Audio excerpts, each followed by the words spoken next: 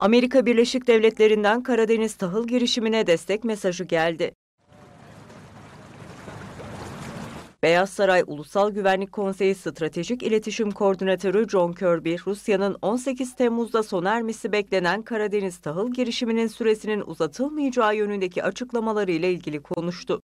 Tüm dünyanın Karadeniz tahıl girişiminden faydalandığını belirten Kirby, bu girişimin devam etmesindeki liderliği dolayısıyla Cumhurbaşkanı Recep Tayyip Erdoğan'a minnettarız açıklamasında bulundu.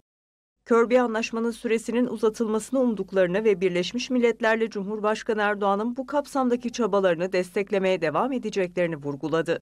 Öte yandan Birleşmiş Milletler Genel Sekreteri Antonio Guterres de Karadeniz tahıl girişimini hayati olarak nitelendirdi. Guterres sürecin hızlandırılmasını söyleyerek tahıl girişimi süresinin uzatılması için çağrıda bulundu.